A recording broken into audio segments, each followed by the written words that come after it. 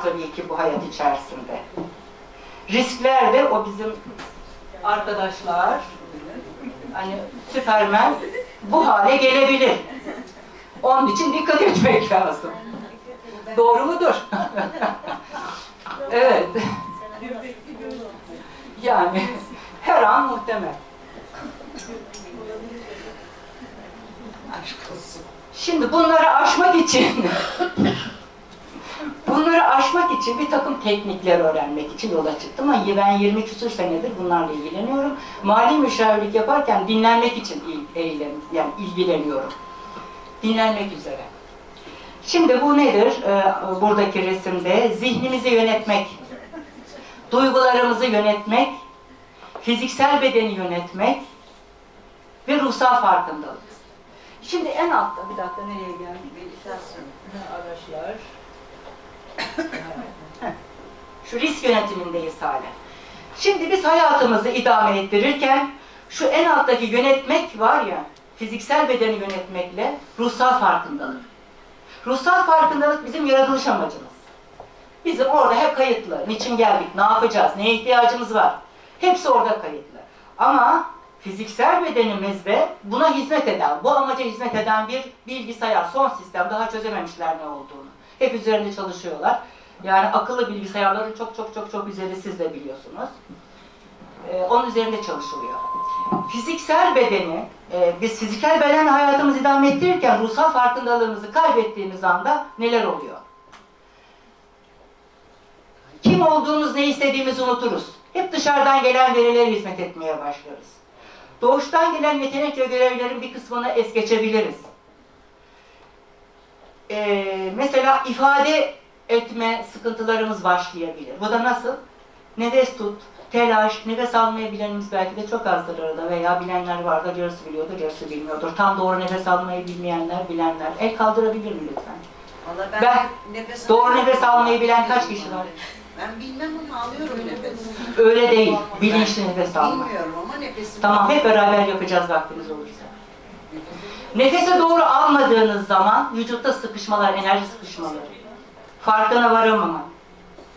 Ee, ve yaşam kalitesinin bozulması başlıyor. Önce duygusal, sonra e, zihinsel veya zihinde başlayan sıkıntılarla duygusal ve makina, bu e, muazzam bilgisayar arıza vermeye başlıyor. Bu arızalara biz bedenen intikal ettiğinde hastalık diyoruz. Şimdi kendini tanıtma ve yönetme sistemleri.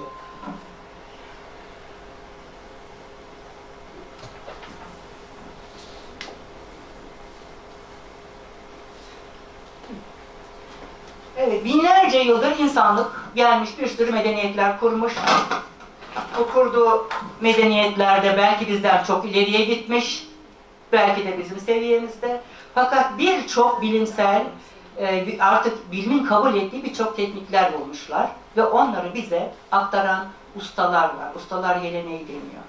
Uzak doğu tıbbı, batı tıbbıyla tabii entegre şu anda. Çok ileri düzey araçlar, şifa teknikleri. İnanç sistemlerinin şuurlu yani bilgiye dayalı olanların, bilgiye dayalı olan her şey mutlaka insana iyi gelir. NLP, EFT denen e, bunlar e, daha yeni bilimselleşmeye başladı. insan zihniyle ilgili ve duygusal alanıyla ilgili. Reiki yoga zaten bilmeyen yok. Ama bunları ne kadar bilirsek bilelim meditasyon ya da derin düşünce, tefekkür denir İslamiyet'te. Bunları ne kadar bilirsek bilelim zaman ayırmamız gerekiyor. Bizim zamanımız var mı? Çok az.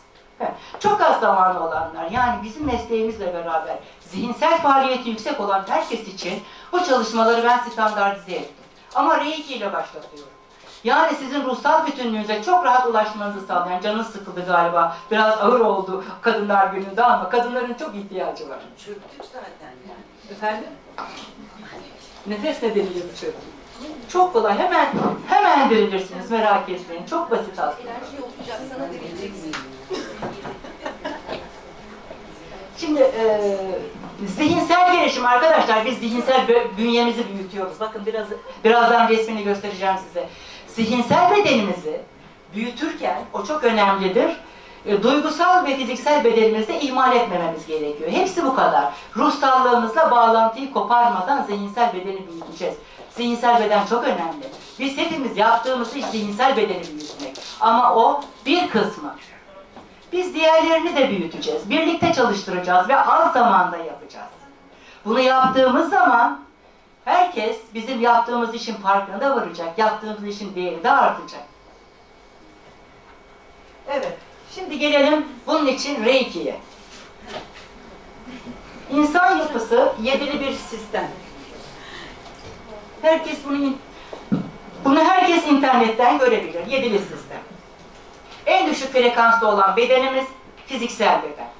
En yüksek frekanslı ruhsal beden.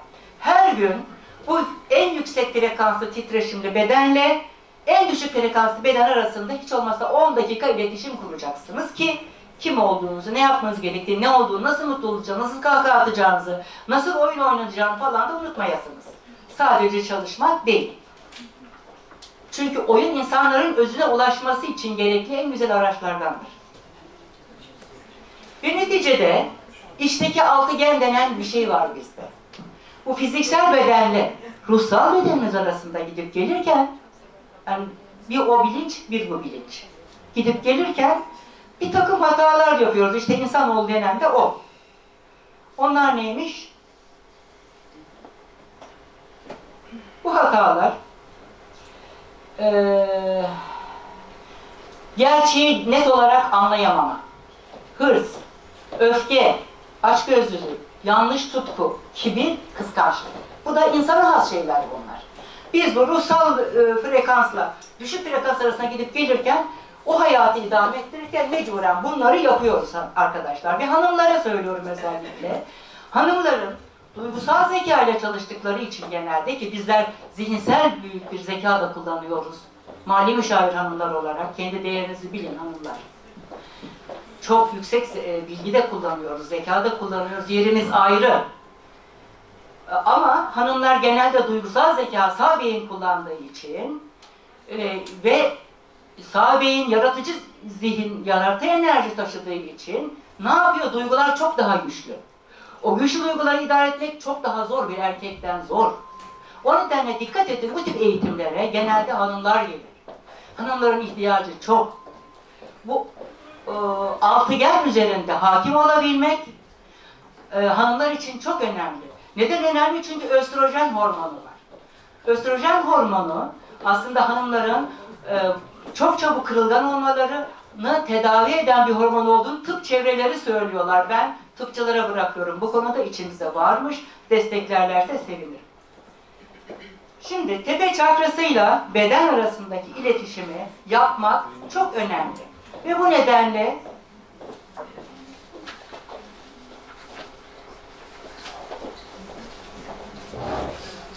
mesela basit bir bilgi size. Biz dengeyi kaybettiğimizde ne oluyor? Nefes bakın burada bu bilimsel. Şu veri bilimseldir arkadaşlar. Dünyanın ritmiyle insanın ritminin aynı olması. Gördünüz mü? bir insan ortalama dakikada bir, 18 e, nefes alırmış. 18 çarpı 2 vücut ısısı. 36 çarpı 2 kalp atışı. 72 çarpı 2 144 en yüksek kan basıncı. Bunlar dünya ritmiyle uyumlu olmamız lazım. Yani ruhsal varlığımız iletişim halinde olurken ayaklarımızda yere sağlam basması lazım. Dengeli bir şekilde. Biz denge uzmanıyız, söylemiştik. O denge uzmanlığını özel hayatımızda kullanmak üzere yola çıkıyoruz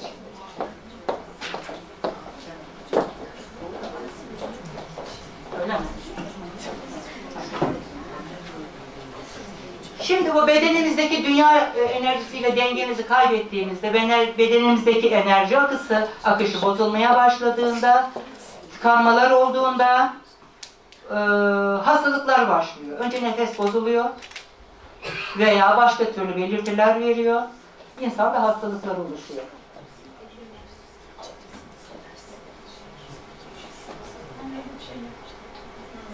Evet prana, chi, astral ışık, ki, kozmik ışık, nefes denen enerjiyle yaşıyoruz.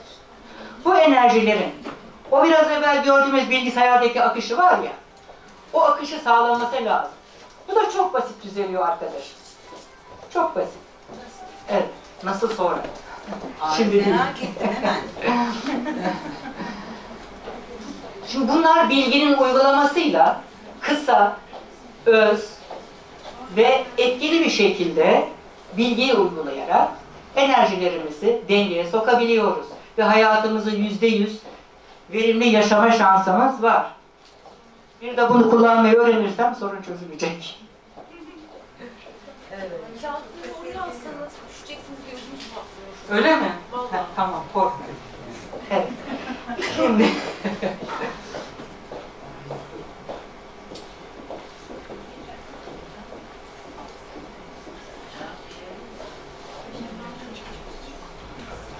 Şimdi tam sağlıklı olmak için benim seçtiğim bir yol e, şifa eğitmenliğidir. Reiki, usulü iki şifa eğitmenliği.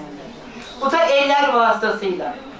Şu anda birçok kültürde birçok kültürde bu var. Zaten sizin de elinizde var. Çünkü topraktan hayat enerjisini ki alıyoruz. Bedende dolaşıyor. Hayat da olmazsa beden olmaz.